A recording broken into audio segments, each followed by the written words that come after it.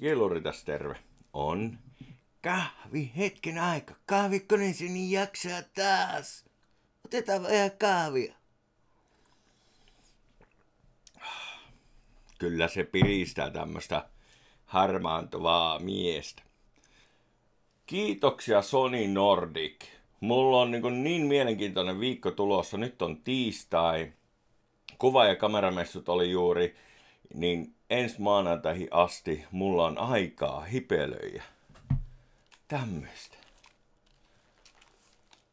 Sonyin A6400 putkena 103 vitoinen 1.8.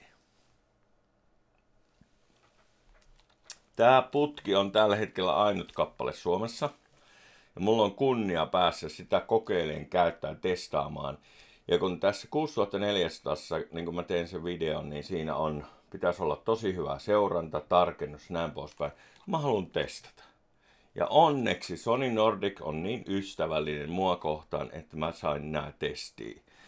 Siis niin kuin, katsotaan miten se toimii. Ja varsinkin se tracking, sitä mä haluan seurata, että miten se tracking toimii siinä. Miten tämä toimii kiekossa.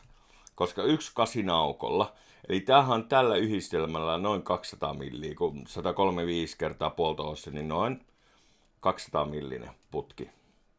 Yksi kasinaukolla. Niin katsotaan minkälaista kuvaa tämä tekee. Iso tämä putki on. Ja sitten mä sain vielä lisäksi mielenkiinnosta testaan 18-105 nelosen aukolla olevaa. Tässä samalla. Onhan näissä aika iso ero. Niin putkissa. Et tässä on semmonen zoomi, jos sä niin miten iso herkkyydet kaikki muut pelaa näissä keskenään. Niin vitsi, että on kiva päästä testaamaan. Ja tämä vaan voi olla vaarallista, jos tää on niin hyvä, kun tätä kehutaan. Koska tämähän on aika snadi. Miten tässä vielä lisää videoa, mikä tämä itse kamera on ja näin, ja tästä putkesta, ja mun pitää laittaa sampleja varmasti tulemaan näistä. Mä olisin saanut sieltä muutenkin kameraa testiin, mutta mä ajattelin, että mä testaan nyt tällä.